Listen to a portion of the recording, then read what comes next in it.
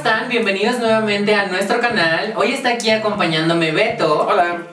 Y hoy vamos a hablarles de Ezra Miller. Así es, hace poco en el último en vivo que hicimos nos escribieron sobre, oigan, ¿qué les parece eh, Ezra Miller, eh, sus nuevos looks o las últimas apariciones en las que ha salido en revistas? Y pues la verdad era como de, no hemos visto últimamente a Ezra Miller, pero pues ya entendemos el porqué. Sí, desde que vimos que fue portada para GQ, entendimos a qué look se estaban refiriendo.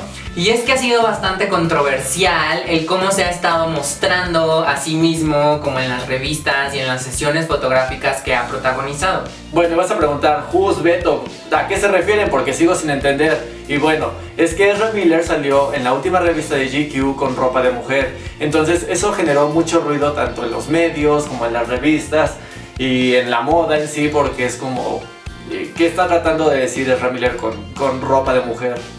Lo cual es un poco extraño, ¿no? Porque ya estamos en 2018 y es como muchísimas personas ya han hecho este tipo de statements, de, ya saben, como jugar con lo andrógino y romper un poco esta onda de, de los géneros supermercados, de estas prendas son solamente de mujer y estas prendas son solamente de hombre.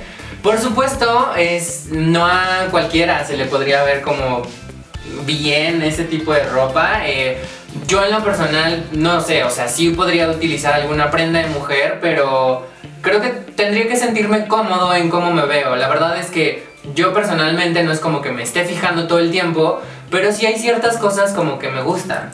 Bueno, pero aparte también pensemos en que estas fotos son editoriales, eh, porque vamos, utiliza corset o por ejemplo hay otra revista que salió en Playboy. En Playboy. Entonces no es como que estés en la calle Tiene un vestido de ¿no? Entonces, o por ejemplo en las últimas alfombras rojas, en la También de estado- Animales Fantásticos, pues utilizando plumas y muy exótico. eh, obviamente debemos entender de que pues es una estrella y, para cuando salen este tipo de eventos tienen que ser como muy llamativos, muy glamurosos. Y además muchos de ustedes habrán visto que incluso personas de la comunidad LGBT eh, critican como este tipo de conductas o este tipo de, de vestuarios, ¿no? Hay algunos que dicen como a mí jamás me podría gustar un hombre que se viste con ropa de mujer y que no necesariamente quiere ser una mujer, o sea, no es que Ezra esté en transición y ahora lo vamos a ver como mujer, No, y creo que eso también ya lo hemos visto desde mucho tiempo atrás. ¿Quién de ustedes no se acuerda de Queen, de Freddie Mercury? Y ahorita aprovechando que este mes eh, estrenaron la película de Queen, eh, podemos eh, recordar cómo, cómo se vestía Freddie Mercury. Sí, era como bastante estrafalario y también jugaba como con esta onda del género, ¿no? De, de me veo súper varonil, porque igual Ezra Miller tiene como un bone structure súper marcado, la mandíbula eh, súper cuadrada y son facciones como muy varoniles y es de, pero me va a poner unos tacones Un y un vestido de encaje.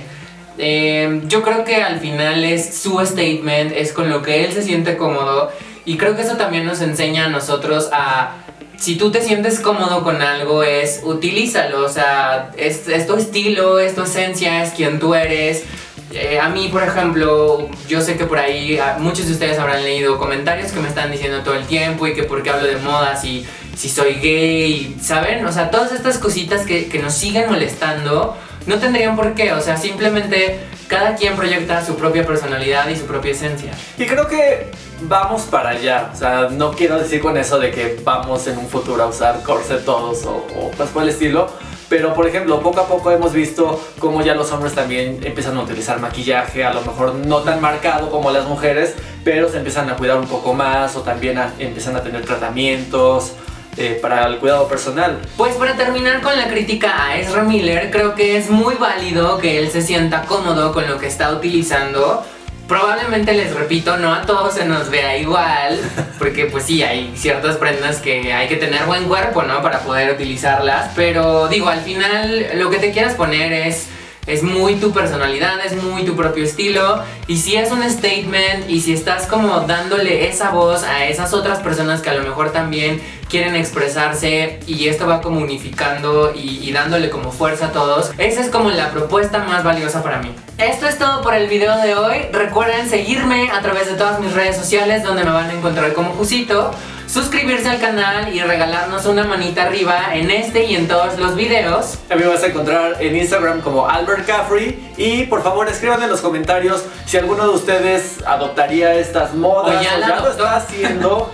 eh, ¿Qué artista, qué actor les gustaría que criticáramos? A lo mejor hay algún algún cantante o alguien que acaba de salir en alguna revista o pasarela o algo y que vale la pena criticarlos para ver si están en tendencia o podemos adoptar alguno de sus estilos. Así es, también recuerden activar la campanita de notificaciones para ser de los primeros en enterarse del contenido que vamos subiendo. Y si tienen alguna duda en particular, eh, nos pueden escribir. Ya saben que Beto y yo siempre vamos a estar ahí para contestarles todas sus dudas. Y pues nada, los vemos la siguiente semana con un nuevo video. Pónganos si quieren que hagamos un, nuevo- un en vivo próximamente juntos. Ya saben que Nos encanta. siempre que hay en vivo estamos juntos. Así que pues nos vemos pronto. Bye. Bye.